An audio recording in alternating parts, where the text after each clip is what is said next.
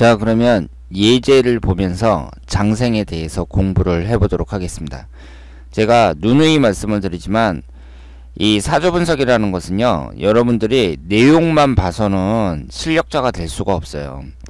여러분들이 이 사주에 관련된 책을 아무리 많이 읽는다고 하더라도요 실제로 사람들의 사주를 딱 봤잖아요. 그러면 입이 떨어지질 않습니다. 그러니까 이 본문 내용을 아무리 많이 공부를 해봤자 사람들의 사주를 딱 받아보면 생각이 잘 안 나요. 그리고 말을 논리적으로 그 논리적으로 분석을 못 합니다. 그러니까 우리가 학교 다닐 때 시험 공부하던 거 생각하시면 돼요. 여러분들이 국어 시험을 보는데 국어도 국어에 관련된 그 본문 내용만 공부하나요? 시험을 잘 보기 위해서 어떻게 해요? 문제를 풀어보잖아요. 문제를 풀어봐야 시험 적응력이 생기잖아요.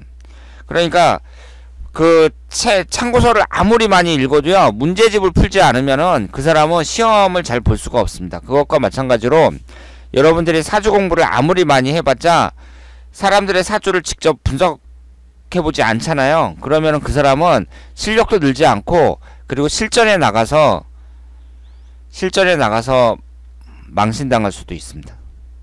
그렇기 때문에 여러분들이 본문 내용을 보는 것보다는 본문을 한번 읽었잖아요. 그 다음에는 문제를 푸셔야 돼요. 사주를 많이 분석하셔야 됩니다. 그렇기 때문에 제가 하는 이 제가 하는 그 사주 강의도 중요한데요. 실전 사주 분석이라고 제가 일주일에 한 다섯 번 정도는 올리거든요. 그런 것도 자주 보셔야 돼요. 그래야 적응력이 생긴다. 그래서 사람들과 일대일로 만났을 때 제 사주 좀 풀어주세요 하고서는 상대방이 사주를 딱 내밀었을 때 여러분들이 말을 할 수가 있습니다. 이 점을 꼭 명심하시길 바랍니다. 그러면 이분의 사주를 한번 분석해 보도록 하겠습니다. 이분이 23살이에요. 올해 23살이고 모여대 건축학과 졸업 예정이라고 합니다. 그런데 이 장생이라는 것은요. 제가 길성이라고 말씀을 드렸잖아요. 그러니까 신생아가 울음을 터트리며 세상에 나올 때의 순수함이 있습니다. 그리고 천진난만하고 이제 깐난애기니까 천진난만할 게 아니에요.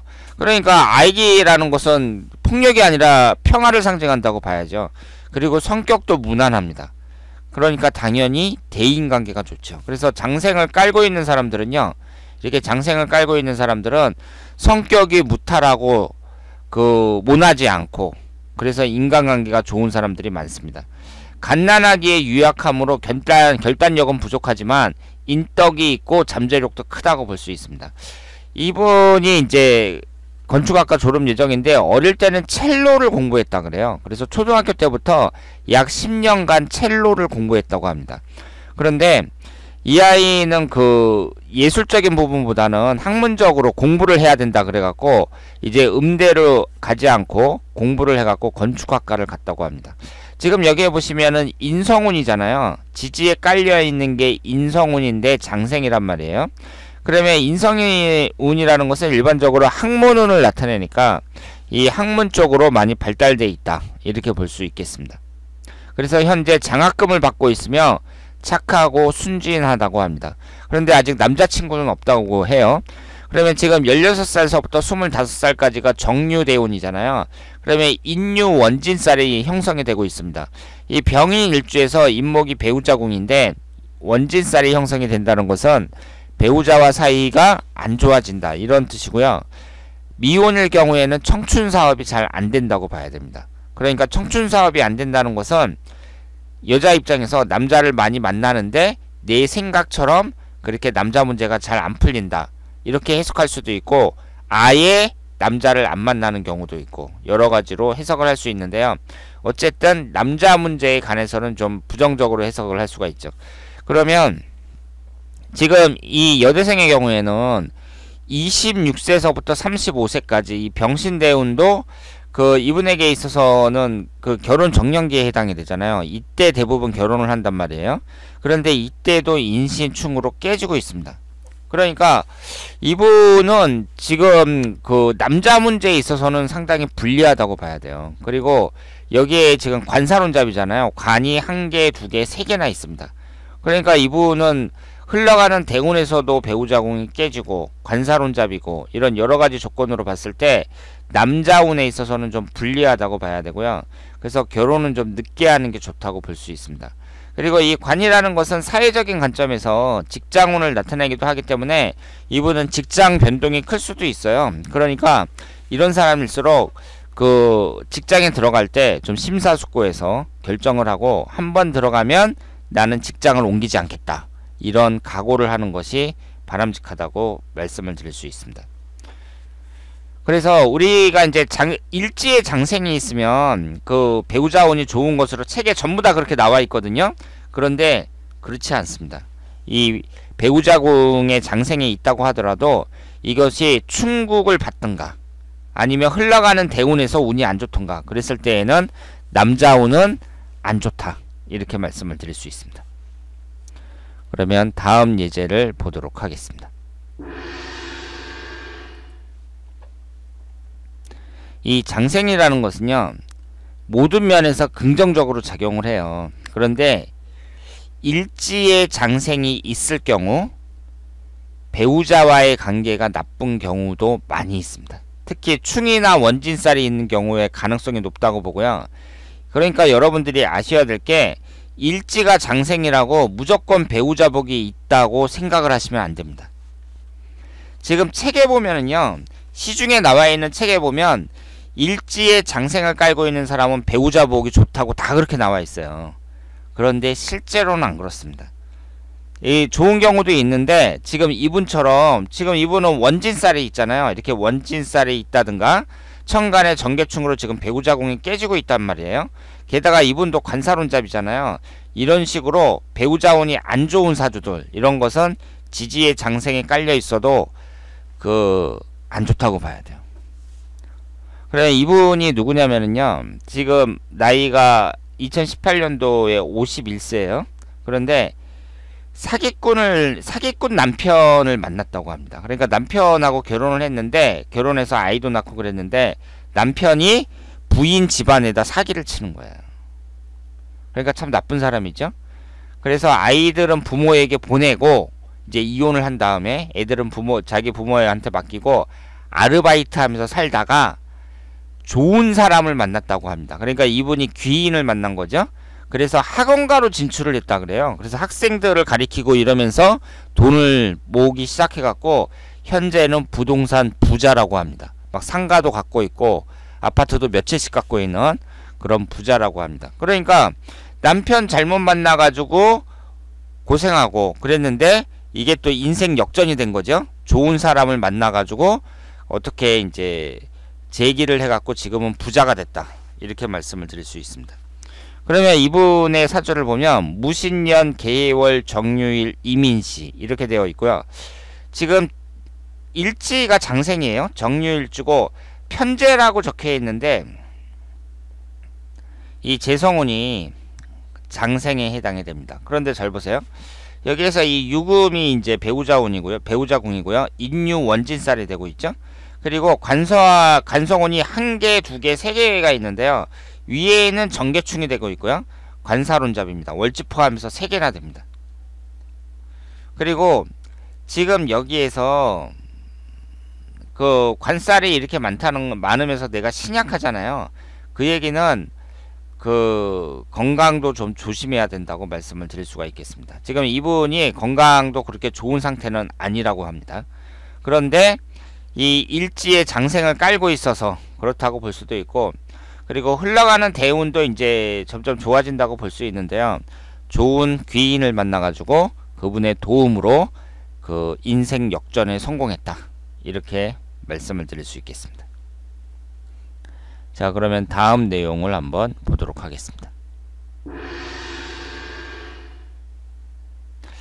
이분이 갑진년 정축월 무인일 갑인시 그렇고요. 올해 나이가 54살입니다. 2018년도니까 54살이에요. 나이보다 훨씬 예뻐 보이고 일도 잘한다고 합니다. 이분이 문화센터의 데스크에서 일을 하고 계신다고 합니다. 그런데 10년 전에 유명 학원 강사였던 남편이 그 심장마비로 사망을 했다 그래요. 그래서 지금 혼자 있고 그리고 이분은 솔선수범하고 성실한 그런 스타일이라고 합니다. 그리고 현재 자녀분들도 잘 됐다 그래요. 그 공부도 잘하고 뭐 좋은 직장을 얻고 그래서 자식들도 잘 됐고 그리고 친정 아버지도 가게 하나 이제 얻어서 먹고 살게 해주겠다고 아버지도 도와주겠다고 하고 그러니까 인덕도 많은 거죠. 그러니까 여러분들은 일지에 장생을 깔고 있는 사람들은요 제가 천우신조라고 표현을 했는데 도와주는 사람이 많다는 거 이것을 일단 대표적인 특징으로 생각을 하시길 바랍니다. 그리고 장생을 갖고 있는 사람들은요 또 감성계가 발달돼 있어요. 그래서 화술에 능한 경우도 많고요. 그러다 보니까 보험업, 홍보 등에서 두각을 나타내는 경우도 많습니다. 그리고 무엇보다 성격이 무난하, 무난하기 때문에 직장 생활에서 큰 장점이라고 봐야죠. 성격이 무난하다는 것은 주위 사람들과 좋은 유대 관계를 유지한다는 얘기거든요. 그러니까 앞에서 말씀드린 제가 그 예, 예를 예제 1이나 예제 2나 이런 분들도 전부 성격이 좋은 분들이라고 말씀을 드릴 수 있습니다. 그리고 성격이 좋고 다른 사람들이 그 사람을 좋게 보니까 또 조, 도와준다고 볼 수도 있겠죠. 그런데 이분을 보시면은요. 이분도 관사론잡이에요. 지금 갑진년 정축월 무인일 갑인시 이렇게 되어 있는데 여기에서 목기운의 관 목기운이 관성운에 해당이 되거든요. 관성운이 한 개, 두 개, 세 개, 네 개나 됩니다. 그러니까 이분은 그 관사론잡 사주라고 볼 수 있고요. 그리고 일지에 이제 관성운이 이렇게 있는데 옆에 또 있잖아요. 관성운이. 그러니까 관이라는 게 이렇게 나란히 있을 때 이때에는 일부 동사가 상당히 힘들다고 볼 수 있습니다. 그런데 흘러가는 대운에서도요. 받쳐주지를 않는다고 봐야죠. 지금 10년 전에 사망을 했으니까 43살, 40, 43살, 44살 그때쯤에 사망을 한 거잖아요. 그러니까 개유대운에 사망을 했단 말이에요. 그런데 36세부터 이제 인유 원진살이 들어왔고 46세에는 인신충으로 배우자궁이 깨지, 깨집니다. 그러니까 36세서부터 55세까지 이 대운이 딴 건 몰라도 남자운은 별로 안 좋다. 이렇게 볼 수 있죠.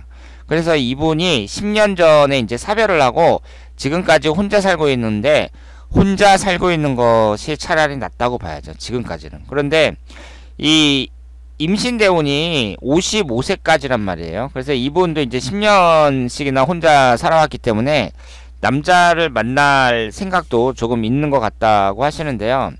임신대운 지나서 그 신미대운부터 한 50대 중 56세 정도 됐을 때 이때 남자를 만나서 뭐 재혼을 하는 것도 괜찮다. 이렇게 말씀을 드릴 수 있습니다. 그리고 재혼이 아니면은요.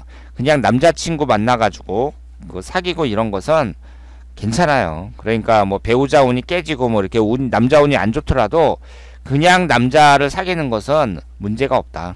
이렇게 말씀을 드릴 수 있습니다. 그러면 마지막으로 다음 예제를 한번 보도록 하겠습니다. 이분이 올해 시은 한 살입니다. 시은 한 살이고요. 현재 작은 카페를 운영하고 있다고 해요. 그리고 종이 인형을 만드는 그 전문가라고 합니다. 전시회도 한다 그래요. 전시회 할 정도면 상당히 높은 수준이라고 봐야죠. 그래서 이분이 글도 잘 쓰고 예술적 감각이 상당히 뛰어난 분입니다. 그러니까 예술가죠. 종이 인형을 하시는 분이니까. 그런데 사귀던 여자가 수녀가 됐다 그래요. 그래서 그 이후로 결혼을 안 한다고 합니다. 그러니까 예인이 있었는데 그 애인이 수녀가 된 거예요. 그래서 결혼을 안 하고 있고요. 그런데 이분 사주를 보면 무신년 정사월 개묘일 무오시 이렇게 되어 있고요. 지금 여기에서 봤을 때 목기운이 하나, 화기운이 세 개, 토기운이 둘, 금기운이 하나, 수기운이 하나 이렇게 되어 있습니다. 그런데 재성운이 월지 포함해서 세 개나 되죠. 그러니까 이 사주는 제다 신약 사주라고 볼 수 있고요. 제다 신약이라는 게 남자 입장에서 봤을 때 여자 운이 별로 안 좋다고 봐야죠.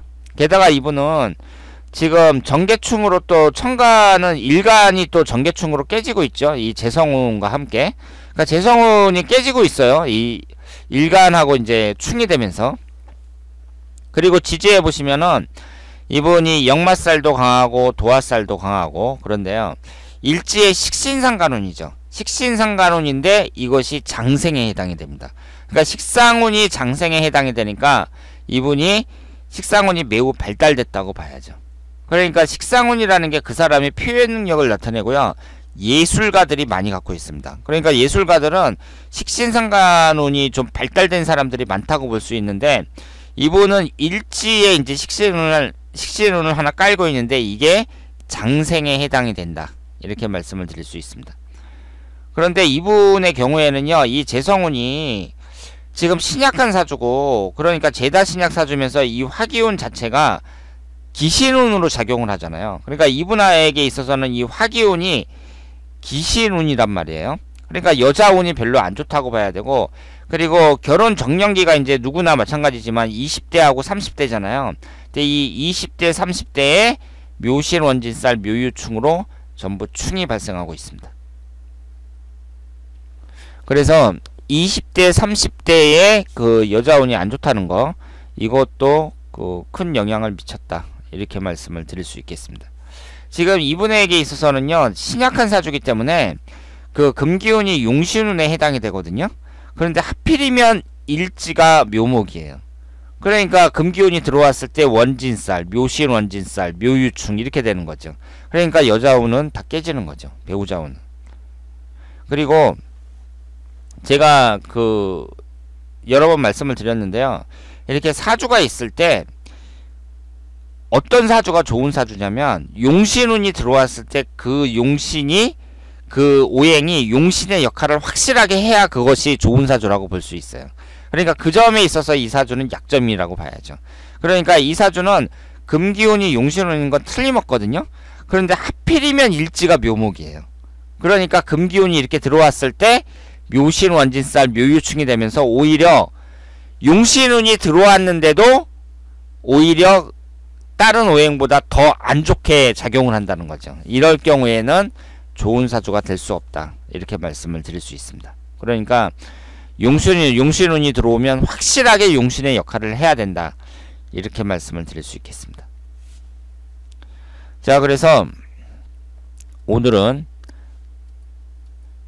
12운성 오늘은 12운성 장생에 대해서 살펴봤습니다.